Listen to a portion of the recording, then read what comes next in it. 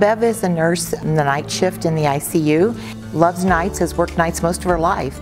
She's fluctuated from full-time to part-time to PRN for the last 40 years. She is the secretary of the Unit Practice Council and has been that for many, many years and is the keeper of a lot of knowledge within the ICU. She is a lifelong learner.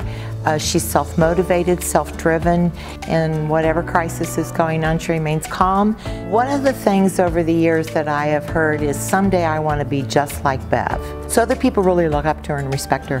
My first time seeing Bev in action as the manager um, looking at her was having her help a mother whose son was dying and she did such a good job being there for the patient and for the mom and the dad and her caring compassionate attitude was just phenomenal. You could tell that she really cared for everyone involved. She takes care of our community very, very well.